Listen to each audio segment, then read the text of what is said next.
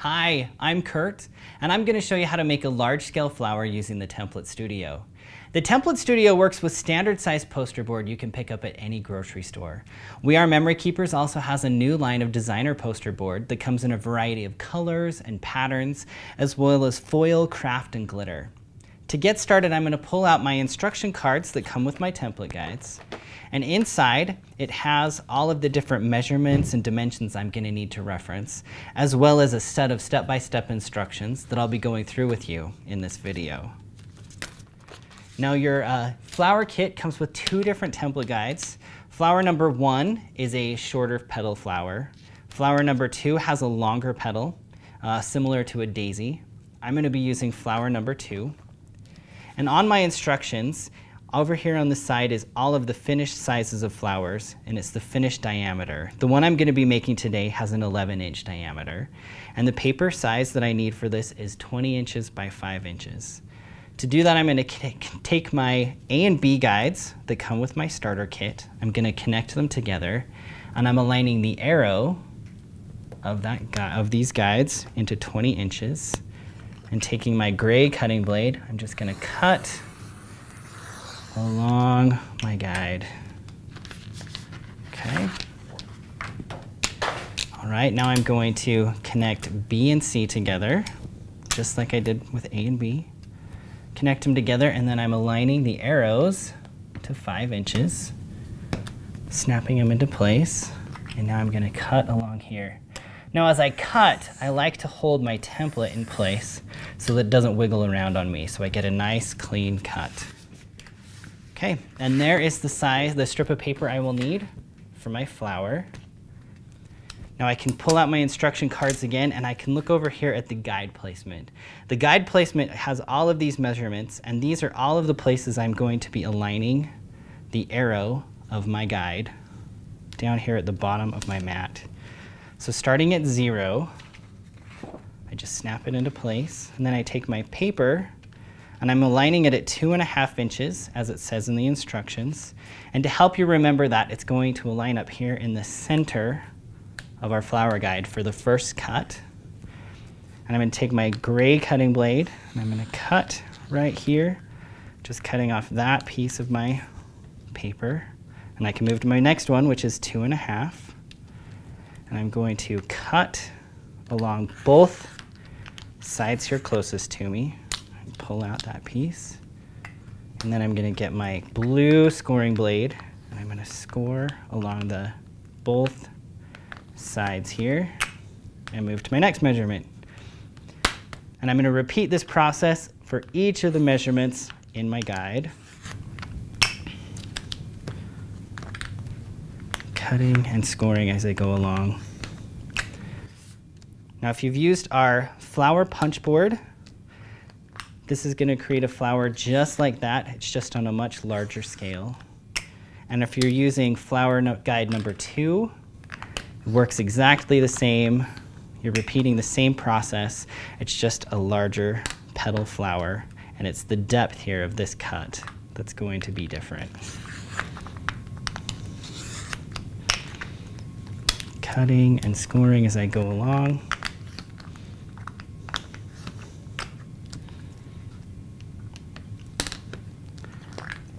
And if you look at our packaging, we have several options of what the finished flowers look like. We've mixed different sizes of flowers and different colors of paper, and it creates a lot of variety there for you and a lot of different dimension and layering options.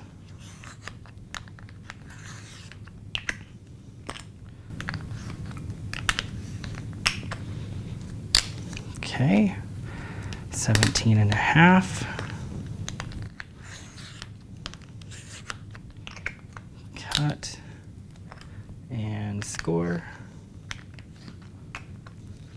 All right, and then last 20 inches. And on this one, I'm only gonna cut on the one half here. And then I need to make sure that I score here as well. Okay, and there is my finished flower strip. Now I can start folding. Now as I fold, I'm gonna fold this back in on itself. And then I'm gonna fold the flower petal, just like that, folding along the diagonal. And then I'm just gonna repeat this all along, kind of in an accordion fold style, and you can see it just will nice, nicely start to round itself as I go around, just like this. And then as you can see, it's gonna start making these nice triangular flower petal centers. And that's how you can make sure you're folding it the right way.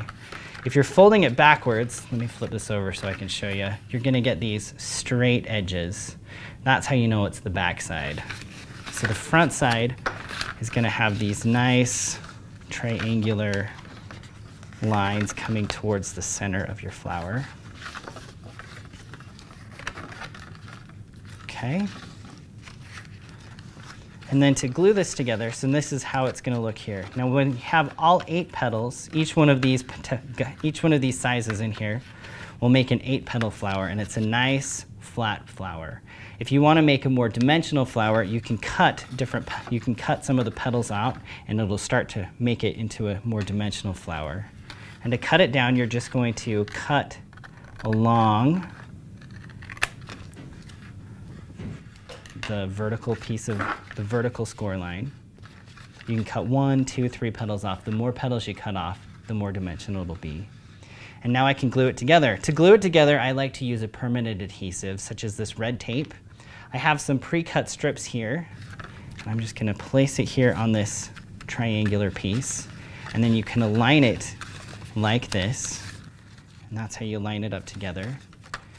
What I'm going to do here, I'm actually going to take a piece of tape and put it along on each one of these triangular pieces so I get a nice permanent finished flower so it doesn't fold up on myself when I'm all finished. So here we go, just putting a piece of tape each one of these little areas and then as I'm going along I can fold it in on itself so I can show you what it looks like when it's done. There we go. Take another piece, putting on a little triangle piece there, folding it back. Another one here.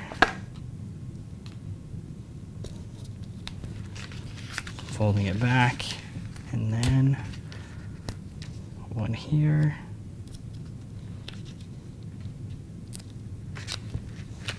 All right.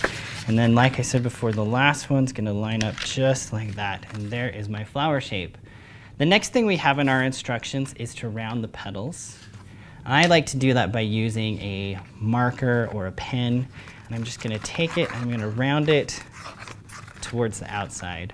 I like to round it this way because it creates a nice organic shape, kind of follows the natural curvature of a flower petal.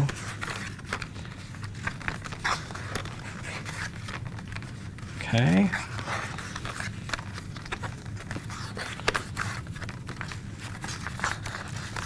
All right, and there is our flower. Has a nice rounded edge to it. The next thing in our instructions is to cut a strip of paper to make a fringe center. I'm going to do that by taking my A and B guides again. Now you could use a different color piece of poster board. I'm using the exact same piece of poster board for the sake of time but I like to cut a three inch strip. Doesn't really matter where you line up your template guides. I'm just placing it right here. But I'm gonna cut a three inch piece of poster board in a long strip, just like that. Okay. And then using some scissors, I'm just gonna come along and I'm gonna cut just along here for some fringe. You just wanna make sure that you're not cutting all the way through this. And you're just cutting down, fringing this as you go along.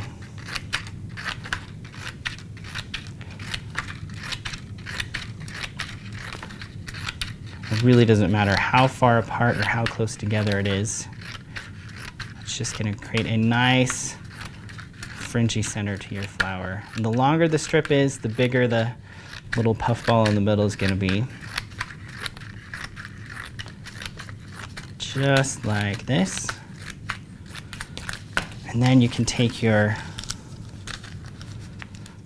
pen, your marker, whatever you're using, and just kind of curve it around a little bit as you do this, just so that it has some dimension when it's finished. There we go.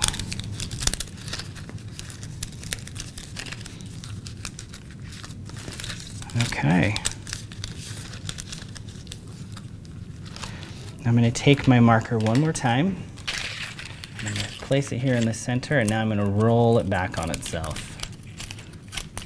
Just rolling this around. Doesn't have to be super tight.